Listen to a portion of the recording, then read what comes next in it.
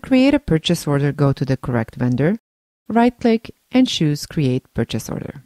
And the address information will be automatically populated from the information you entered when you set up the vendor. Define the class if you use classes.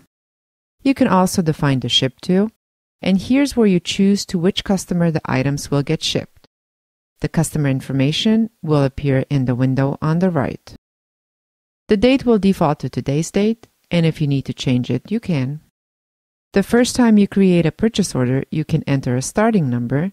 Every next purchase order, it will increment by one. Continue to your line items. Let's say you're ordering soil for the customer. Let's say 100 bags of it. QuickBooks will automatically multiply the quantity you input by the rate you set up for the item. You can add a message and a memo. When you're happy with what you see, save and close, and you will get back to the transaction history for the vendor where you will see the new purchase order.